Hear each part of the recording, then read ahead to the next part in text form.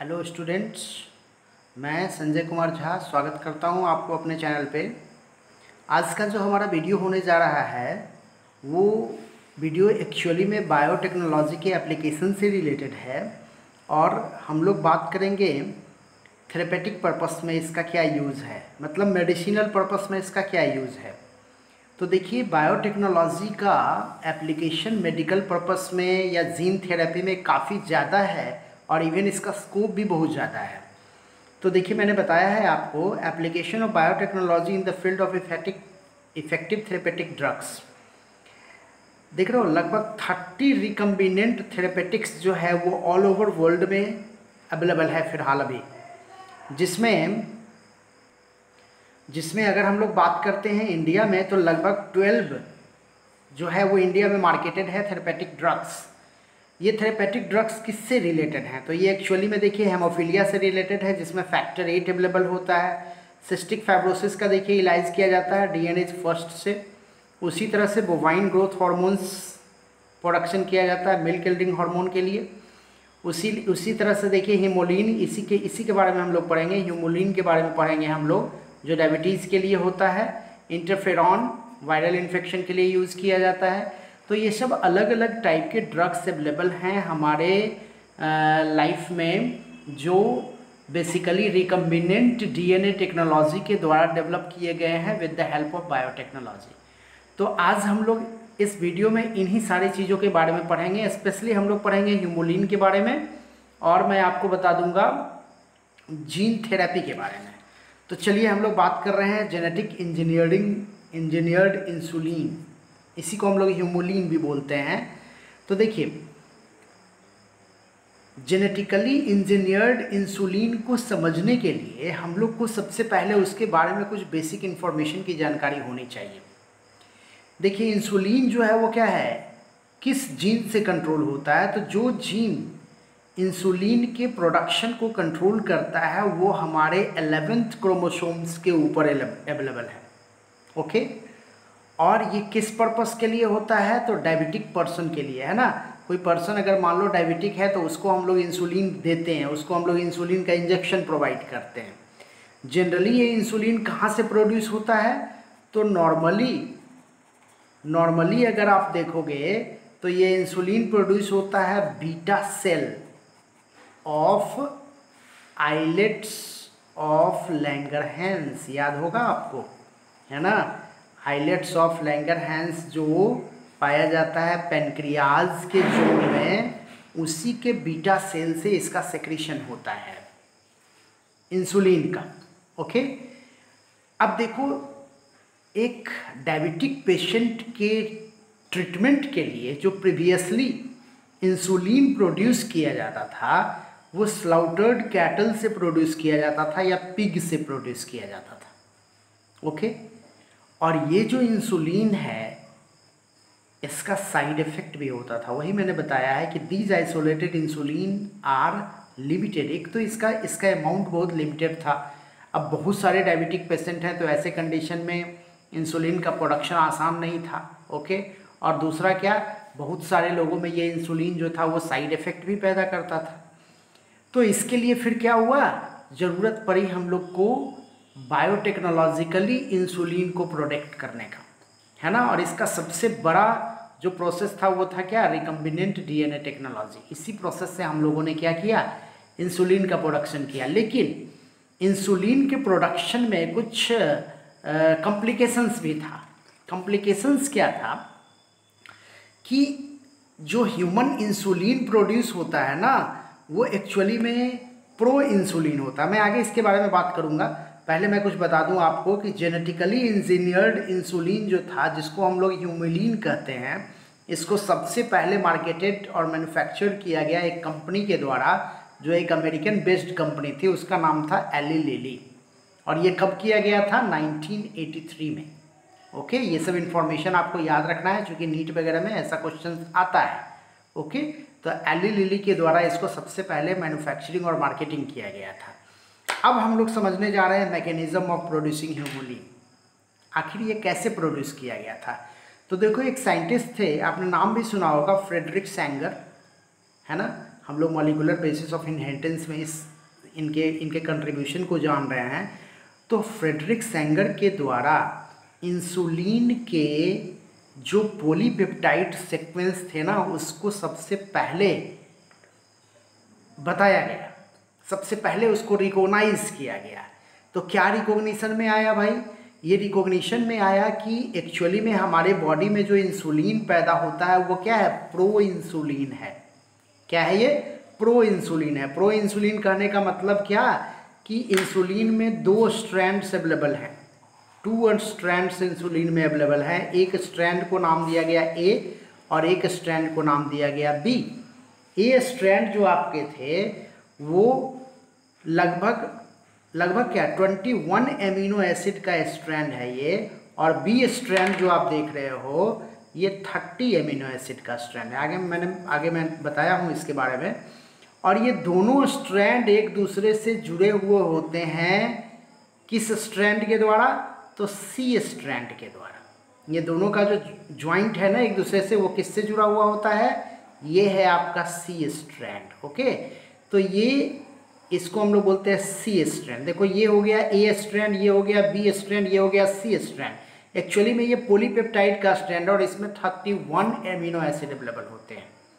और इसके बीच बीच में पाया जाता है डाइसल्फाइड बॉन्ड जो कि इस एमिनो एसिड में जो सल्फ़र कंपाउंड होता है ना, वो सल्फ़र कंटेनिंग एमिनो एसिड जो है, वो आपस में डाइसल्फाइड बॉन्ड का फॉर्मेशन करते हैं। ये हमारा क्या है? इनएक्टिव फॉर्म ऑफ़ इंसुलिन है।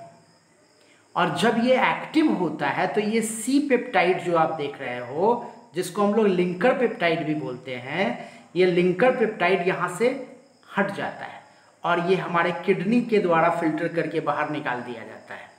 सी पेप्टाइड जो होता है, वो क्या होता है? रिमूव कर जाता है फंक्शनल इंसुलिन के अंदर और इसको हमारा किडनी क्या करता है? फ़िल्टर करके यूरिन के थ्रू इसको बाहर निकाल देता है। ओके? तो ए और बी जो है वापस में जुड़ा हुआ है किसके द्वारा? डाइसल्फाइड बॉन्ड के द्वारा।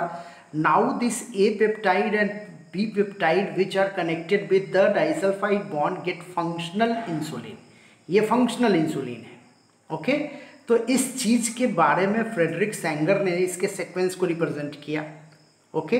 देखिए, मैंने पीछे नीचे डेटा दे दिया है। आपका तीन टाइप का पोलीपेप्टाइड आपके ह्यूमन इंसुलिन में पाया जाता है या मेमेलियन इंसुलिन में पाया जाता है? A peptide B peptide C peptide okay A peptide जो होता है उसमें ट्वेंटी वन एमिनो एसिड होता है बी पेप्टाइड जो होता है उसमें थर्टी एमिनो एसिड होता है और सी पेप्टाइड में थर्टी वन एमिनो एसिड होता है। और इसी पेप्टाइड को हम लोग लिंकर पेप्टाइड बोलते हैं।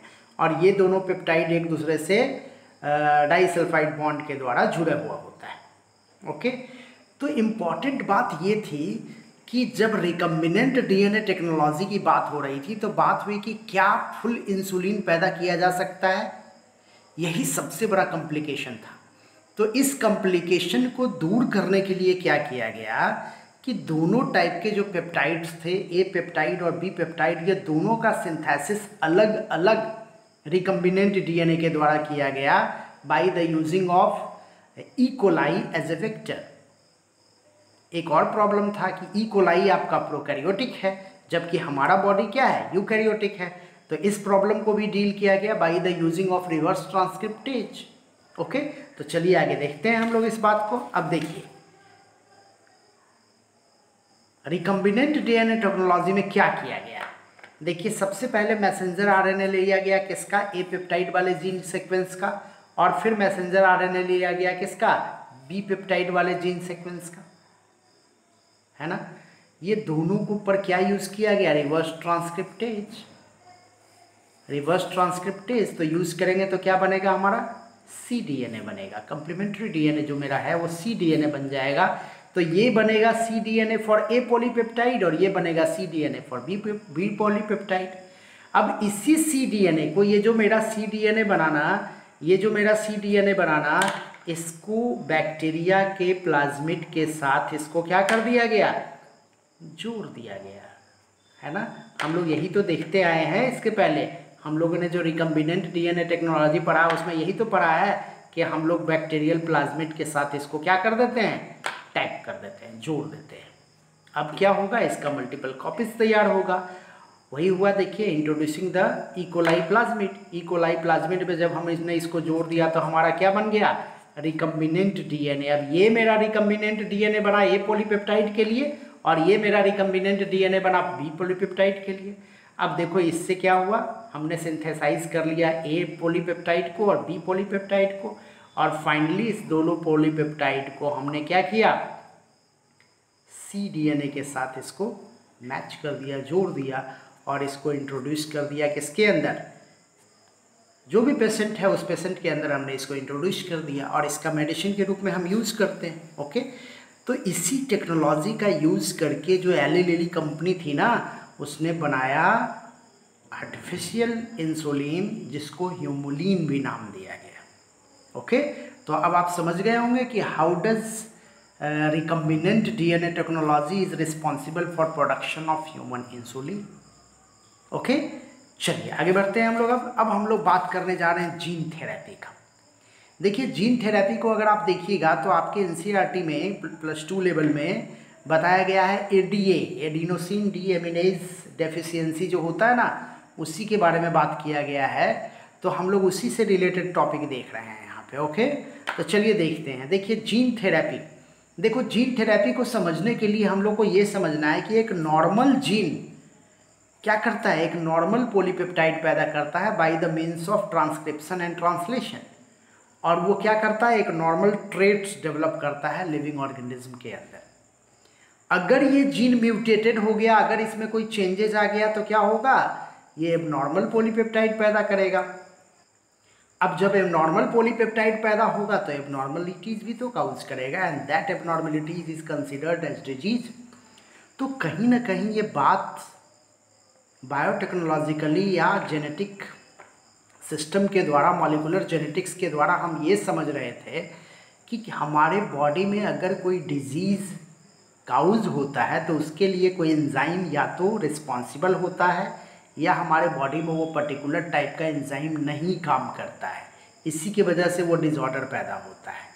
तो अगर हम उस जीन को क्या कर दें? ट्रीट कर दें। अगर हम इस जीन को ही ट्रीटमेंट दें तो हमारा ये डिज़ीज़ भी ट्रीटेड हो जाएगा।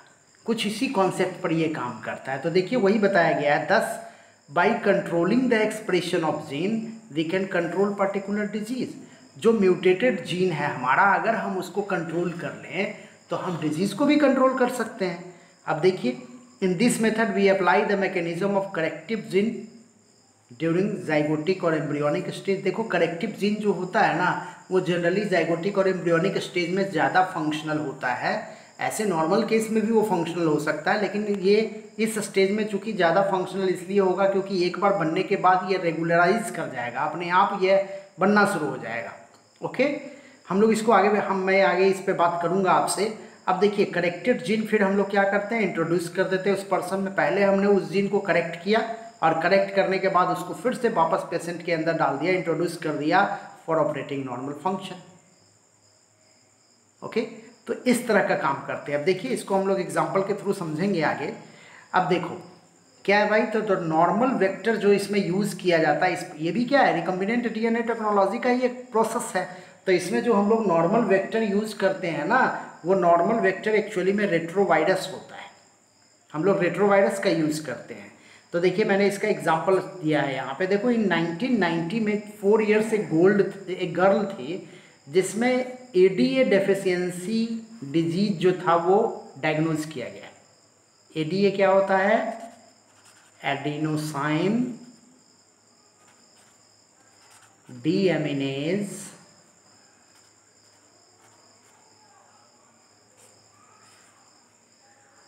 है ना? एडिनोसाइन डीएमिनेज डेफिशिएंसी डिज़ीज़ होता है ये।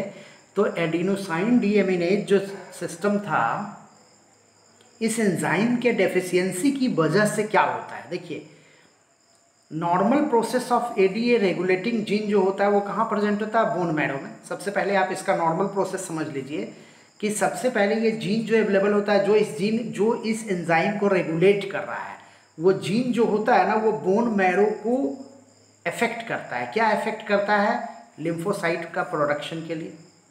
और ये लिम्फोसाइट इस एंजाइम की वजह से एडिनोसिन डीएमिनेज की वजह से, ये लिम्फोसाइट जो होता है वो बी और टी सेल आपने ये, आपको याद होगा? बी और टी सेल टाइप का लिम्फोसाइट पाया जाता है। जो बी सेल होता है वो एंटीबॉडी का फॉर्मेशन करता है और टी सेल क्या होता है? हेल्पर सेल होता है ना? तो ये बी और टी सेल के फ़ंक्शन को रेगुलेट करता है। एक्चुअली में इसका सिंथेसिस ही करता है। है ना? ये जो एडिनोसिन डीएमिनेट जो है, वो लिम्फोसाइट को ट्रिगर करता है for synthesis of B lymphocyte और टी लिम्फोसाइट एक्चुअली में वो ट्रांसफॉर्म करने में हेल्प करता है उसको। ओके अब अगर इस जीन में कोई कोई प्रॉब्लम आता है, देखिए any problem in A D A gene unable to synthesise B और टी से जब जब ए डी ए जीन जो आपका है, उसमें कुछ गड़बड़ी आ गई तो ये बी और टी सेल का सिंथेसिस नहीं होगा। और जब बी और टी सेल का सिंथेसिस नहीं होगा तो ऐसे कंडीशन में उस पर्सन की इम्यूनिटी जो होगी ना, वो क्या हो जाएगी? लॉस कर जाएगी। वही है thus the person suffer from S C I D S C I D क्या बोलते हैं? सीवियर कम्बाइंड इम्यूनियो डिफिशियंसी है ना? तो सीवियर कम्बाइंड इम्यूनो डिफिशियंसी से वो ग्रसित हो जाएगा और वो पर्सन सर्वाइव नहीं कर सकता है अपने लॉन्ग लाइफ को। ओके तो देखिए, वही है, मैंने बताया है आपको कि ड्यू टू देखिए due to S C patient has less chance of survival उसका सर्वाइवल का चांस बहुत कम होगा। तो हम लोग इसको ट्रीट कैसे करते हैं? What are the treatment given during 1990 to that four year girls उस फोर ईयर गर्ल्स में क्या ट्रीटमेंट दिया गया था भाई? तो देखिए, इसमें क्या किया जाता है कि लिम्फोसाइट जो है ना, वो इफेक्टेड पर्सन का ले लिया जाता है। इफेक्टेड पर्सन का लिम्फोसाइट एक्सट्रैक्ट कर लेते हैं हम लोग। ओके और एक नॉर्मल जो लिम्फोसाइट है, उससे हम एडीए जीन को ऑप्टेंट करते हैं। है ना? और उसको वेक्टर के साथ हम टैग कर देते हैं और वेक्टर के साथ टैग करने के बाद उसको हम क्या करते हैं? उसका मैन्युफैक्चरिंग करते हैं। मतलब उसके अमाउंट को बढ़ाते हैं। ओके और बढ़ाने के बाद उसको फिर फाइनली उसी लिम्फोसाइट में वापस से, देखो इंट्रोड्यूस इंटू लिम्फोसाइट वापस से उसको लिम्फोसाइट में इंट्रोड्यूस कर देते हैं। Okay after the treatment of ADA gene normal ADA gene to that particular lymphocyte हम उस लिम्फोसाइट को वापस क्या करते हैं? पेशेंट के अंदर इंट्रोड्यूस कर देते हैं। देखिए infuse with patient blood patient के ब्लड में डाल देते हैं उसको। अच्छा ये लिम्फोसाइट का सोर्स क्या हो सकता है? बोन मैरो हो सकता है। बोन मैरो से आप ले सकते हो इस सेल को ओके और जब हम उसके पेशेंट के अंदर इंट्रोड्यूस कर देंगे तो क्या होगा? एंजाइम प्रोड्यूस होगा। एंजाइम कौन सा होगा? एडीए और वो एंजाइम क्या करेगा? वो एंजाइम बी सेल और टी सेल को सिंथेसाइज करेगा। और जब बी सेल और टी सेल का सिंथेसाइज होगा तो एससीआईडी क्या हो जाएगा? रिकवर हो जाएगा ना? उस पर्सन में जब बी और टी सेल बन गया तो इम्यूनिटी उसकी अच्छी होने लगेगी, कुछ सुधर जाएगी उसकी इम्यूनिटी अब देखो, अगर वो पेशेंट जैसे मैंने बताया four year old four year girl थी तो फोर ईयर गर्ल में तो ये फिर जब किया गया तो क्या हुआ भाई? एक्चुअली में ये process regular interval of time पे किया जाना चाहिए, क्योंकि उसके अंदर ऑलरेडी क्या हो चुका है, पहले से सारे सेल्स बन चुके हैं, लेकिन अगर यही चीज़ को हम लोग एम्ब्रियोनिक स्टेज में करते हैं या जाइगोटिक स्टेज में करते हैं तो हम कहीं ज़्यादा अच्छा रिज़ल्ट ऑब्टेंड कर सकते हैं as compare to young ones okay तो इस तरह से उस पर्टिकुलर गर्ल्स का ट्रीटमेंट किया गया एक बार फिर से मैं समझा देना चाहता हूँ कि हमने क्या क्या किया इसमें। हम क्या करते हैं? लिम्फोसाइट लेते हैं उस अफेक्टेड पर्सन का फ्रॉम द बोन मैरो और different part of the cell even हम बॉडी फ्लूड से ले सकते हैं लिम्फोसाइट और उस लिम्फोसाइट के अंदर हम इंट्रोड्यूस कर देते हैं normally ID ADA isolated gene which are recombinant by vector retrovirus retrovirus vector के साथ उसको हम लोग ट्रीट करके उसको प्रॉपर सीक्वेंस में ला करके और फिर हम उसके अंदर वो जो आइसोलेटेड लिम्फोसाइट था ना, उसके अंदर उसको इंट्रोड्यूस कर देते हैं। और इस आइसोलेटेड लिम्फोसाइट में जब हम ये जीन इंट्रोड्यूस कर दिए मतलब रिकम्बिनेंट वाला जो था उसको इंट्रोड्यूस कर दिए, उसके बाद क्या करते हैं? उसको वापस पेशेंट के बॉडी में डाल देते हैं। क्या होगा? वो जो करेक्टेड लिम्फोसाइट है with ADA gene enzyme produce करेगा, वो एंजाइम बी और टी सेल का सिंथेसिस करेगा, जो वापस इम्यूनाइजेशन को बढ़ाने में हेल्प करेगा। तो इस तरह से हम लोग यूज़ करते हैं जीन थेरेपी का। इसका और भी यूजेज है। इवन मैंने आपको पहले ही बता दिया था कि जीन थेरेपी का यूजेज आप बहुत सारे चीज़ों में कर सकते हैं। जैसे ग्रोथ हार्मोन के लिए कर सकते हैं हम लोग।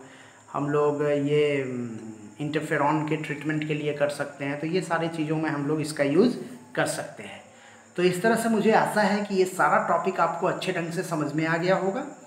अब इसके बाद का जो हमारा वीडियो होगा, वो हम लोग बायोटेक्नोलॉजी के फर्दर आगे का अप्लीकेशंस देख लेंगे। तो बहुत बहुत धन्यवाद आप लोगों का एडोफिचर ये, मेरे चैनल पे बने रहने के लिए। Thank you